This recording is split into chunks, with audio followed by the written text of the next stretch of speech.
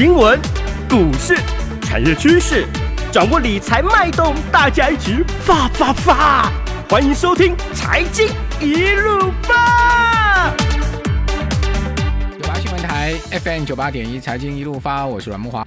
呃，我们观点时间要跟听众朋友来谈一个很重要的话题啊，就是明年一月十一号啊，关系着你我未来的生活啊，关系我们未来的发展啊、所以明年一月十一号的总统大选哦，会是台湾很重要，我觉得很重要、很重要、超级重要的一个转折点。哦，那这个转折点到底是转向哪一边呢？呃，这个端是两千三百万人的智慧了哈。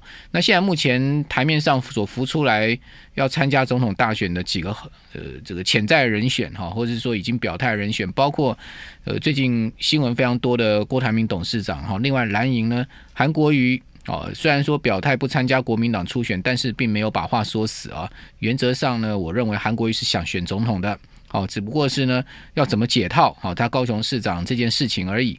那另外呢，民进党现在党内打得不可开交的，就是蔡英文总统跟前行政院长赖清德两个人。那还有一个人呢，在隔岸观火啊，现在目前正处在啊，到底要选不选？哦，并不是天人交战，而是看蓝绿的这个推出的人选谋定而后动的这个人叫做柯批。哦，白色力量。好，先讲柯批吧。好，柯批为什么现在到这边迟迟还没有表态呢？原因很简单。哦，因为柯批知道他的票源来拿自来自于哪里呢？一定是来自于所谓的中间选民，再加上瓜分蓝绿两边的选票嘛。好，所以说呢，柯批要能选上总统，他最大的机会是什么？好，一定是蓝绿这个有一边呢、出现了一个非常弱势的形态，也就是说呢，不是蓝很弱，好，或是绿很弱，好，形成了这个一面倒的态势啊，而使得呢蓝绿基本盘松动哈，这个票才会流向哈这个科批的中间选民，也就是说这个白色的力量哈。如果说蓝绿都推出一个非常强的态势了哈，就是双边呃。两边的候选人都是非常具有民意基础，而且呢，也都非常具有基本盘的。那我认为科批参选的几率就不高了，因为他很难呢，哦，这个从蓝绿这两边呢去拿到任何一票，哦，所以他只剩下中间的这个部分，只剩下中间的部分呢，势必难以支持他哦选上总统，哦，所以说科比现在目前正在谋定后动，那谋的是什么？谋的就是看蓝绿要到底推出什么人选嘛。假设说蓝营推出了。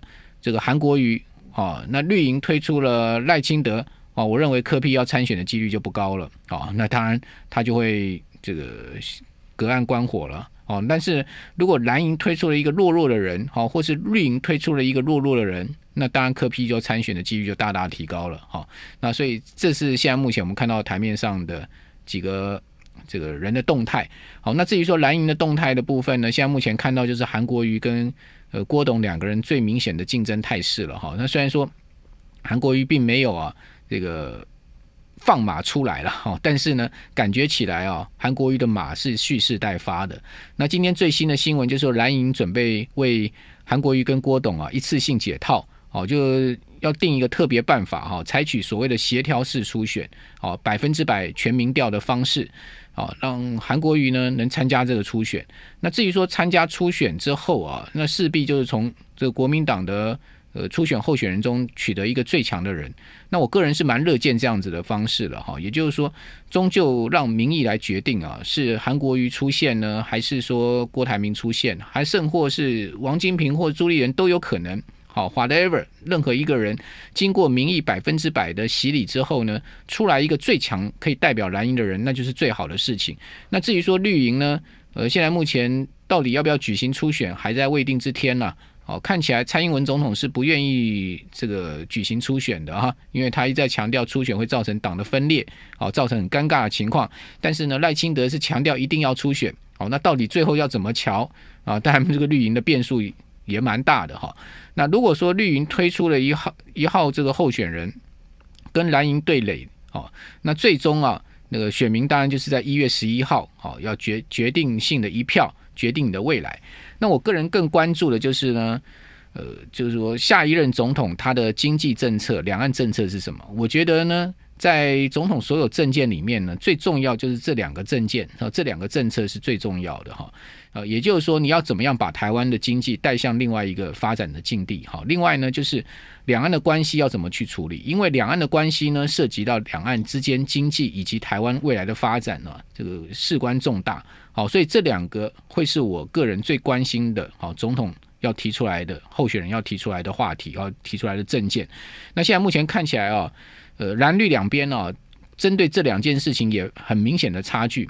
好，比如说呢，在这个总统大选要举行，呃，现在目前当口上面哈，呃，当然这个候选人潜在的候选人都已经提出了啊，他们对于呃这个经济啊，或者是说两岸的看法哈。那其中呢，蓝营方面呢，认为是两岸是一定要和平的，好，就是和平共处。好，至于说如何和和平共处是呃后话，好，重点是和平一定一定是前提。